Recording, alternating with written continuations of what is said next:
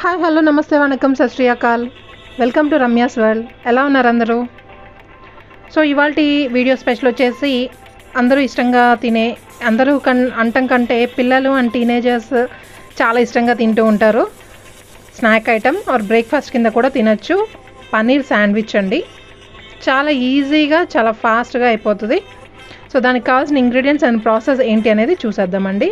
So ingredients వచ్చేపాటికి first onions అండి.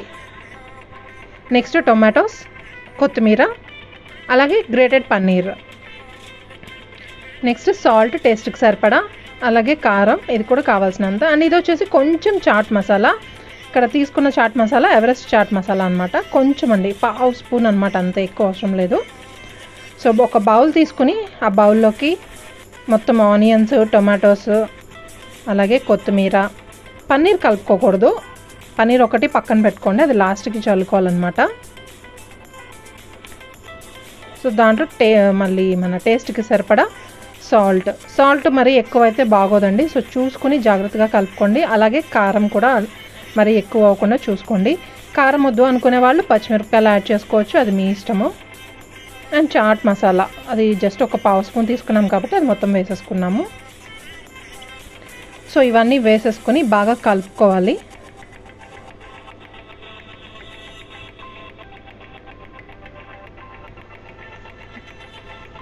And ఇష్టపడే వాళ్ళైతే దీంట్లో కొంచెం చీజ్ కూడా యాడ్ చేసుకోవచ్చు శాండ్విచ్లో.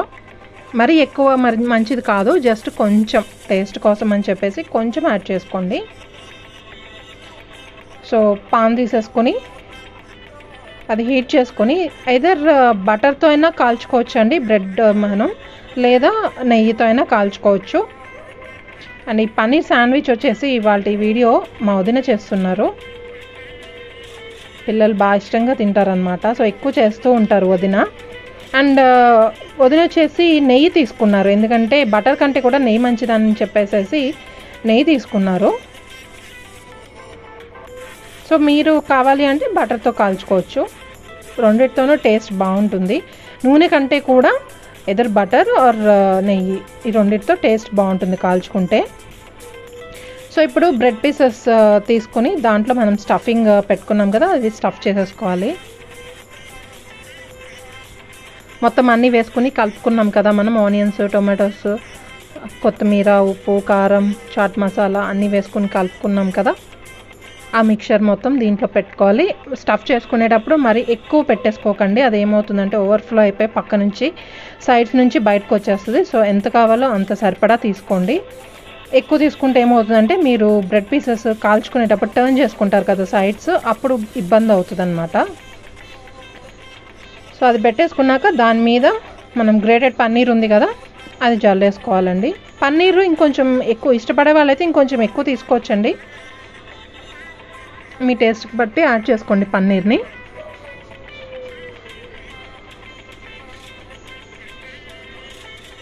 సో పాన్ మన హీట్ అయిన తర్వాత మనము స్టఫ్ చేసుకొని పెట్టుకున్నాం కదా బ్రెడ్ పీసెస్. ఆ బ్రెడ్ పీసెస్ పెట్టేసుకొని అటు ఇటు తిప్పుకుంటూ కాల్చుకోవడమేనండి.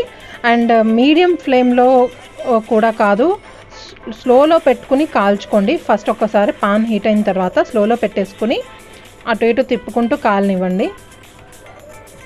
చీజ్ యాడ్ చేసుకునే వాళ్ళైతే మనం పన్నీర్ పైన జల్లుకున్నాం చూసారా? అప్పుడే మనం చీజ్ కూడా జల్లేసుకుంటే సరిపోతుంది.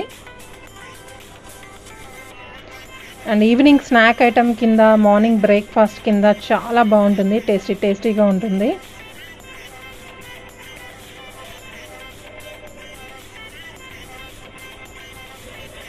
పెద్దవాళ్ళు అంత ఎక్కువ ఇష్టపడరు. పెద్దవాళ్ళు అంటే కొంచెం aged people but చిన్నవాళ్ళకి teenagers and middle middle age వాళ్ళు కూడా ఇష్టంగా తింటారు. సో తప్పకుండా ట్రై చేయండి. ట్రై చేసి ఎలా వచ్చింది అనేది నాకు చెప్పండి. సో వీడియో కనుక మీకు నచ్చినట్టయితే లైక్ చేయండి షేర్ చేయండి. కొత్తగా ఛానల్ చూసే వాళ్ళైతే సబ్స్క్రైబ్ చేసుకోండి. థ్యాంక్స్ అండి. Thanks for watching.